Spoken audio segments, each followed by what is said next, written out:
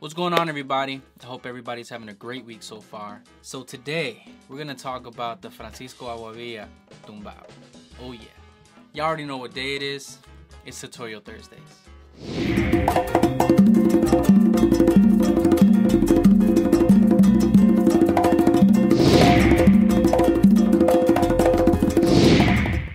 To all the new subscribers, welcome to A Percussion Life. My name is Eric Perez. Some of you already know that by now, but I just had to say thank you for subscribing, and I do hope that you enjoy these videos. And if you haven't subscribed already, just hit that subscribe button, hit that notification button, find out whenever I'm uploading. And yes, we normally upload two videos per week, every Monday and every Thursday. Sorry about Monday, uh, feeling a little bit under the weather, so uh, just uh, need to take some time to rest. Sorry about that. To all my day ones, man, thank you so much for all the comments, all the support, sharing the videos, man, reaching out to me, making sure I'm okay. Really do appreciate it, man. I seriously, seriously always feel the love from you guys, so I appreciate you. So Francisco Aguabella, man.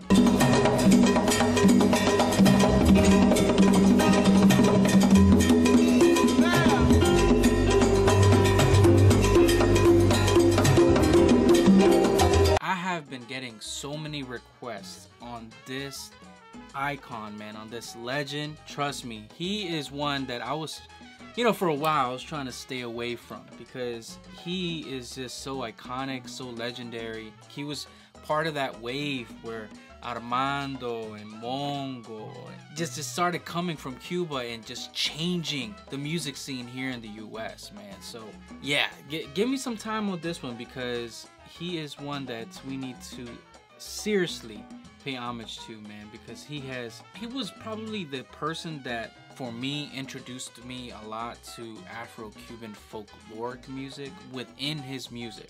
Other than Mongo because him and Mongo kind of did that where they used their traditional music from Cuba to implement it in what they were playing here. You know, they would do a lot of like bata patterns in conga playing and, and they would kind of innovate it in that sense. So when you would hear their music when you hear them playing you're like wait a minute uh, that's uh that's not normal there. What are you what are you doing right there and francisco Aguabella is responsible him mongo and armando those those three guys i would say you know apart from chano but but those three guys are the guys that i would say that deserve so much credit candido camero was part of that wave too on how they kind of played and, and, and changed the style of playing, especially on certain hits and certain touches that they would do. Like, if you really want to know how iconic Francisco is, he played with Dizzy Gillespie, Peggy Lee, Tito Puente, Cal Tjader, Frank Sinatra. I mean,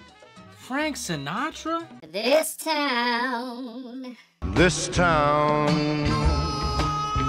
He's played with Mongo Santamaria, Chano Pozo, Carlos Santana, Eddie Palmieri. Dude, Francisco Aguabella is responsible for a lot of those hit records, man. And and kind of, I don't know, he, he just brought this energy. Carlos Santana said a little clip about him. To me, the most important thing about Francisco is the spiritual inspiration that he teaches how music and spirituality are one and the same.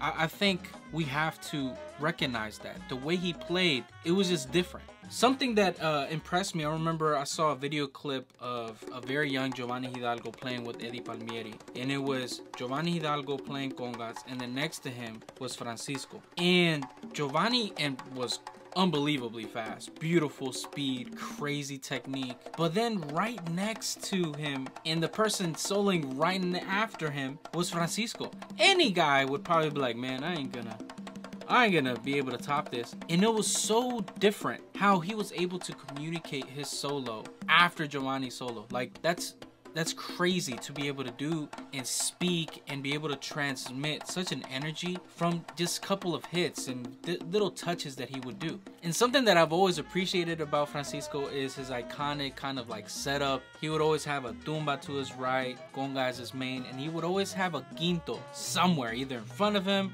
or right next to him to his left, and he would always just play and do certain riffs. It was just crazy how he was able to kind of like implement certain batat hits and do certain folkloric patterns in the middle of his solos. It was just crazy how he was able to just transmit certain things that you didn't see in like the 60s and 70s, man. You you you wouldn't see none of this stuff. Francisco Aguabella as well released a couple of solo albums. Uh, when I mean a couple, I mean a couple, like Orisa, Agua de Cuba, Cubacán, Ochimini. Like, he has many more, but and, and, again, he was part of a lot of different recordings. If you listen to his music, he was able to introduce a lot of these folkloric patterns and music from Cuba and popularize it in a way that the average listener can somewhat understand the complexities that he's introducing. For some reason, and I don't know why, but when I talk to a lot of people about Francisco, they somehow don't recognize him. And maybe it was because Mongo Santamaria was so popular. Maybe it was because Armando Peraza was so popular.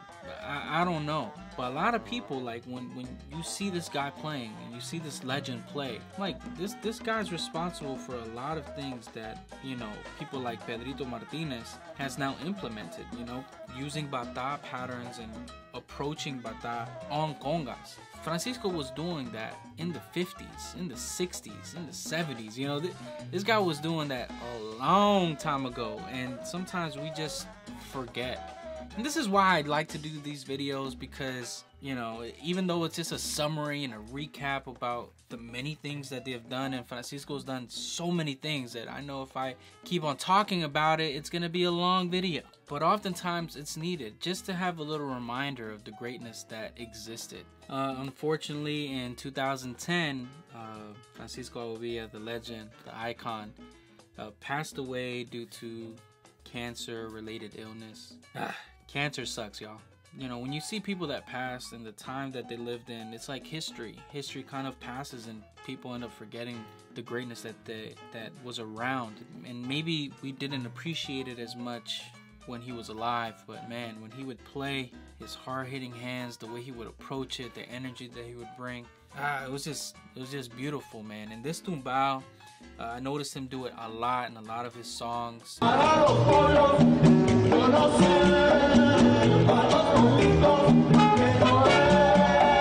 It's kind of his unique way, and you're gonna see a lot of slapping. You're gonna see a lot of accented hits and you're also gonna see a lot of feel because Francisco was that. He he transmitted a lot of feel into his playing. So you're gonna see different approaches and different things that I'm gonna try to do and try to simplify it so everybody can understand it in such a way. So the tumbao I wanna show you is this.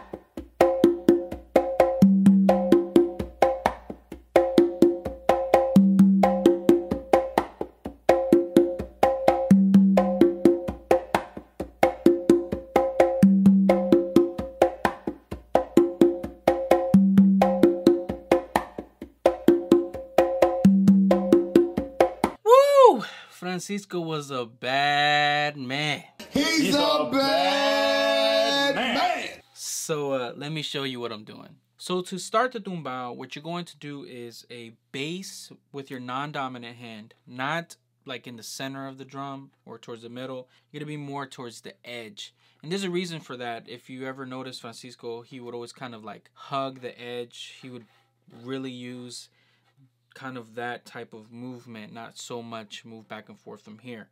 So with your non-dominant hand, you're going to do a bass, and then what you're going to do is bring it back and do a close slap. So to show you, it's going to be like this.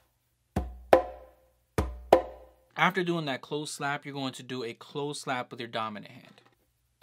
Now, if you ever notice how Francisco would kind of use that close slap movement with his left hand, let me kind of show you what he would do um, he would lift up his index finger and kind of like pull the skin more. It's a very, very old school way. If you want to do it that way, it's very old school. Love it. It's beautiful. It gives a different tone. So just to kind of like let you hear the difference, it's going to sound like this.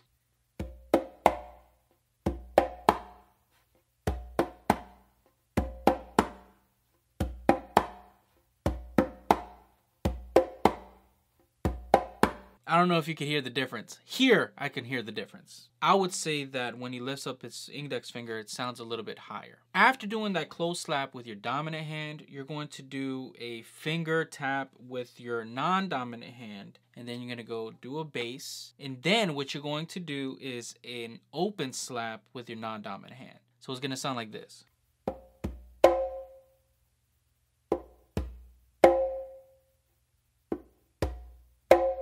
So to put everything together up to this point is going to sound like this.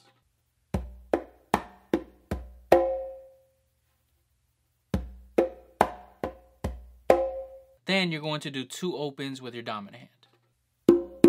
So to put that together,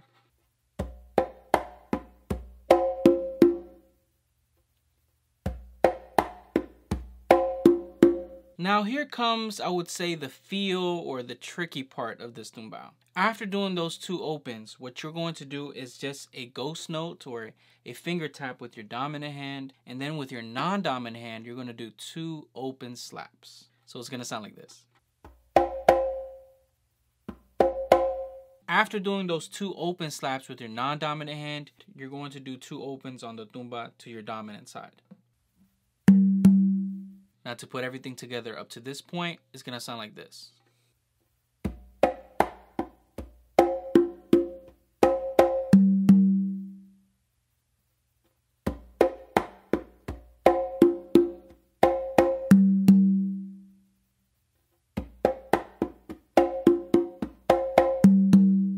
Kinda crazy, huh? I'm trying to tell you, man, Francisco was all about feel. Now to finish the whole tumbao, after doing those two opens on the tumba, what you're going to do is an open slap with your non-dominant hand and then two opens with your dominant hand on the conga.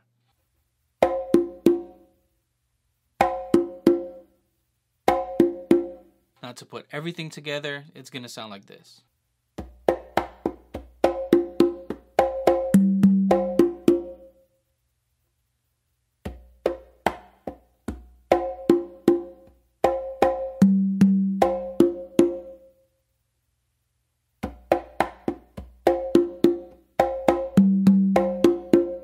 So to play the whole thing through is gonna sound like this.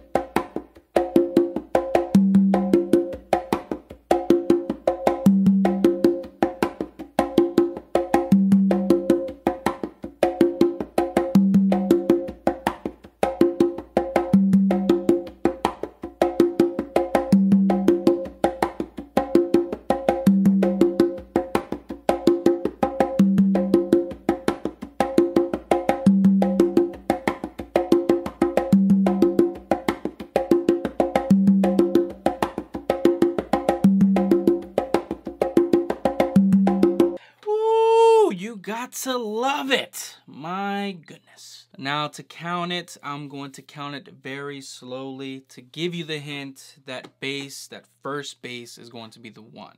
So to count it, it's going to be like this.